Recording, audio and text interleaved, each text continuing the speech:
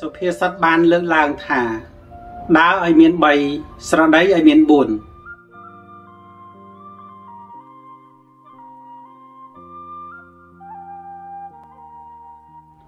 បាទខ្ញុំបាទសូមគោរពជំរាបសួរពុកម៉ែបងប្អូនអស់លោកជាសាធុសពបរោះបងប្អូន ប្រុសស្រីទាំងអស់ជាទីគោរពនិងជាទីស្រឡាញ់រាប់អានបាទថ្ងៃនេះខ្ញុំមាន ប្រធានបទមួយ ដើម្បីលើកមកវែងញែក ចែកជូនដល់អស់លោកជាពុទ្ធបរិស័ទសាធុសពបរោះបងប្អូនប្រុសស្រីទាំងអស់បានជាសម្ដាប់ដូចតទៅបាទអញ្ចឹងគឺនៅក្នុងសេចក្តីជាសុភាសិតដែលលើកឡើងថាដើរឲ្យមាន3ស្រដីឲ្យមាន4ខ្ញុំនឹងលើកឡើងនៃចំហៅថាអដ្ឋានរូបអដ្ឋានរូបគឺតកតងទៅនឹងដើរឲ្យមាន3នោះគឺយើង ធ្វើដំណើរបាទធ្វើដំណើរដើរហ្នឹងគឺការធ្វើដំណើរទៅណាមកណា ទៅជួញដូរទៅធ្វើការងារដើរកំសាន្តផ្សេងផ្សេងគឺលោកឲ្យដើរឲ្យមាន3បាទអញ្ចឹងប្រសិនបើយើងដើរឲ្យមាន3នោះគឺយើងអាចការពារពីអន្តរាយផ្សេងផ្សេងអំពីអឺការដែលមានបញ្ហាគ្រោះថ្នាក់ដោយចែកដន់ប្រការណាមួយបាទឧទាហរណ៍ថាប្រសិនបើយើងដើរម្នាក់ឯង បាទជូនជាមិនស្រួលខ្លួនខ្យល់កឬក៏ត្រូវអន្តរាយគេធ្វើបាបទៅគឺអត់មាននរណាជួយបាទអឺបើដើរតែពីរនាក់គេអាចចោទប្រសិនបើបញ្ហាចៃដន្យគ្រោះថ្នាក់ដោយប្រការណាមួយបាទឬក៏ភាគីមួយខាងទៀតដែលទៅតែពីរនាក់នោះគឺគាត់មានអន្តរាយដល់ជីវិតបាទដោយចៃដន្យណានីមួយនោះគឺអាច ក្រុមគ្រួសាររបស់គេបងប្អូនសាច់ញាតិគេនឹងចោទថាយើងអឺធ្វើឃាតកម្មឬក៏សម្លាប់ដៃគូដែលយើងទៅជាមួយបើសិនជាមិនចោទបែបហ្នឹងក៏យើងជាអ្នកដែលពាក់ព័ន្ធនៅក្នុងសាយរឿងនឹងដែរតែប្រសិនបើយើងដើរចាប់ពី3អ្នកឡើងទៅ គឺមានសាក្សីដល់2អ្នកបើមានបញ្ហាមួយគឺនៅ2អ្នកទៀតដែលជាសាក្សីឬក៏គូស្វាមីបាទ គូសង្សារប្តីប្រពន្ធសាច់ញាតិដែលធ្វើដំណើរតែពីរអ្នកនោះគឺអាចគេចោទថានាំប្រពន្ធកូនគេដើរខុសច្បាប់ខុសទម្លាប់បាទនាំឲ្យគេរិះគន់ជាដើមតែប្រសិនបើយើងដើរមានក្មួយទៅតាមហើយមានមនុស្សប្រុសមានស្រីទៅជាមួយចាប់ពី3នាក់ជាដើមគឺគេមិនចោទទេទោះបីជាយើងទៅជាមួយប្រពន្ធគេក៏ដោយ តែដោយសារតែកូនគេទៅជាមួយក្មួយគេទៅជាមួយដែរតែអញ្ចឹងស្វាមីគេក៏មិនជាអ្នកប្រច័នដែរដោយសារតែមិនទៅតែ2នាក់តែប្រសិនបើយើងទៅតែ2នាក់ទោះបីជាទៅលក្ខណៈរ៉ូស៊ីក៏ដោយអាចស្វាមីអាចភាគីមួយខាងទៀតគេមើលទៅគេគិតថាអ្នកនោះតែ2នាក់មិនដឹងជាស្អីស្រឡាញ់គ្នាឬណាត់ជួបគ្នាធ្វើមិនធ្វើអីរឿងមិនល្អអីខុសប្រពៃណីជាដើមគឺគេ ចោតគេមើលងាយយើងបាន តែបើយើងដើរចាប់ពី3នាក់ទៅ គឺវាវាធ្វើឲ្យគេចាប់កំហុសយើងមិនបានបាទសំបីតែពិខុសង្ឃនៅក្នុងសាសនាក៏ដោយព្រះពុទ្ធក៏ព្រះអង្គហាមដែរបាទមិនឲ្យពិខុនៅជាមួយមាតុក្រៀមមាតុក្រៀមគឺមនុស្សស្រីតែ2នាក់ទេ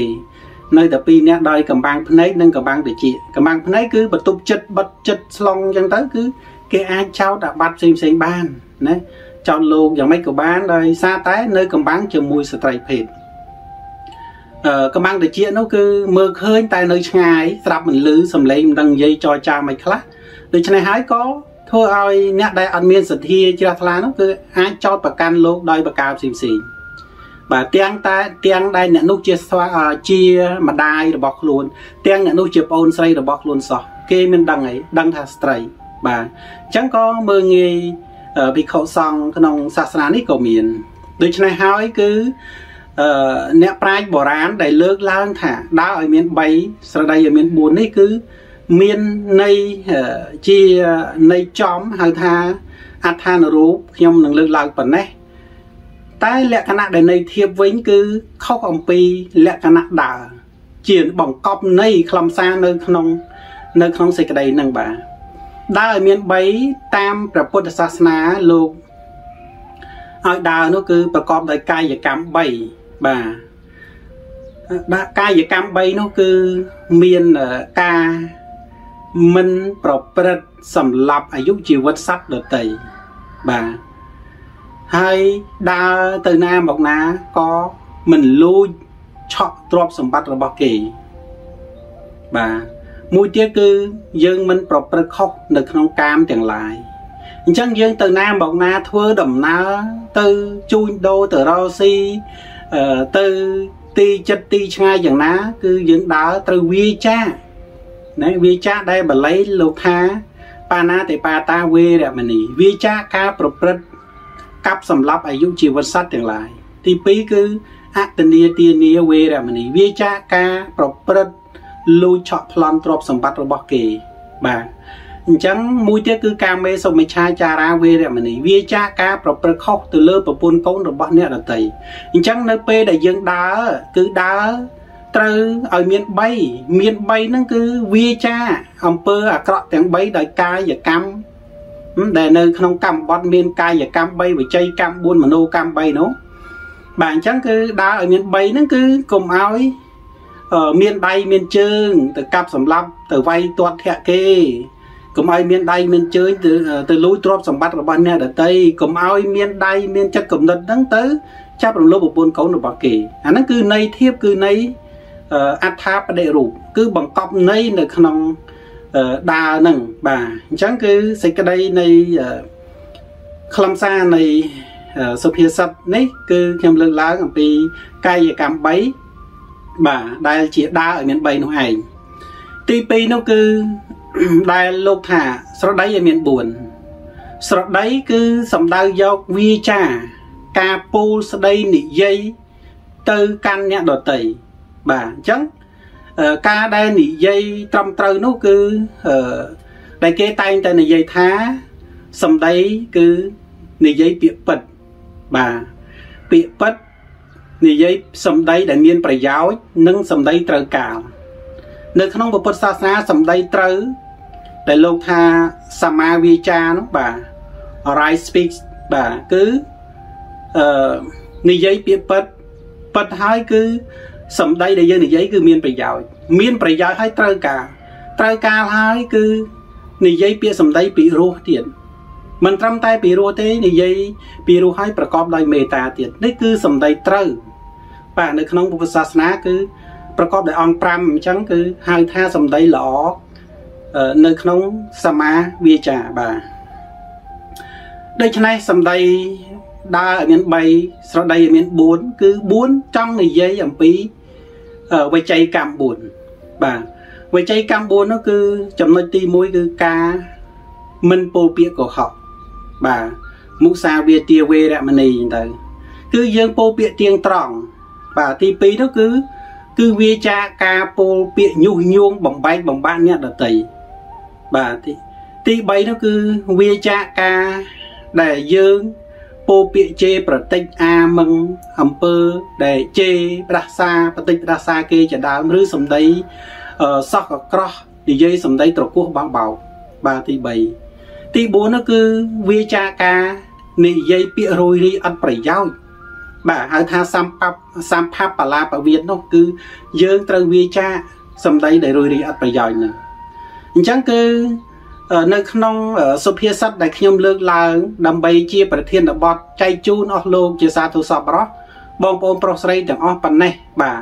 តាក់តងទៅនឹងដើរឲ្យមាន3ស្រដីឲ្យមាន4ហើយខ្ញុំនឹងលើកឡើងដែលជានៃ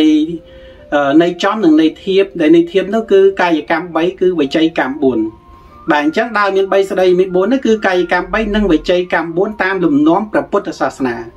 ដូច្នេះគឺខ្លឹមសារនេះគឺជាសេចក្តីមួយដែលអ្នកប្រាជ្ញបុរាណលោកអឺលោកចងឡើងដើម្បីឲ្យយើងងាយចាំណាងាយចាំថាអីកាយកាយកម្ម3វិច័យកម្ម4ឬក៏ដើរមាន3សរីមាន4នេះដើម្បីឲ្យក្មេងចំនួនក្រោយគឺមានអឺចំណាប់អារម្មណ៍ ចាំនៅឃ្លាទាំងអស់ហ្នឹងណាបើមិនទាន់ចាំថា3នោះស្អីគេ4នោះយ៉ាងម៉េចអញ្ចឹងចាំតែថាដើរមាន3ស្ដីមាន4ទៅគឺគាត់ចាប់អារម្មណ៍ចង់ដឹងចង់ចេះចង់អីគាត់អាចសិក្សាស្រាវជ្រាវបន្ថែមទៀតបានដូច្នេះគឺសេចក្តីនេះខ្ញុំលើកឡើងបកស្រាយមកប៉ុណ្ណេះដើម្បីចែកជាធម្មទានដល់បងប្អូនជាសាធុសពបរោះបានជាចំណែកបុណ្យកុសលជាពិសេសនោះគឺ បានក្រើនរំលឹកបានដាស់តឿនឲ្យយើងទាំងអស់គ្នា មានអំពើល្អចេះនិយាយពាក្យល្អពាក្យត្រឹមត្រូវពាក្យមានប្រយោជន៍ហើយនឹងកាយកម្មដែលយើងបានមកល្អមរៀមគ្រប់គ្រាន់អវយវៈសពគ្រប់ហើយគឺ យើងកុំយកកាយយើងទៅប្រព្រឹត្តអំពើស្មោកគ្រោកទៅប្រព្រឹត្តអំពើដែលគេមិនពេញចិត្តអំពើដែលគេស្អប់ខ្ពើមដូច្នេះខ្ញុំលើក clear នៅក្នុងសភាសិទ្ធមកប៉ុណ្ណេះគឺបានជាប្រយោជន៍ដល់បងប្អូនទាំងអស់គ្នា បងប្អូនដែលមិនទាន់បានចុច like ឬក៏ subscribe នៅក្នុង channel YouTube របស់ខ្ញុំបាទនោះគឺសូមជួយចុច like និង subscribe ទាំងអស់គ្នាឬក៏មានពាក្យអីដែលចង់សួរឆ្ងល់អីអាច comment នៅខាងក្រោមវីដេអូនេះបានបាទសូមគោរពនិងជម្រាបលាសូមអរគុណបាទ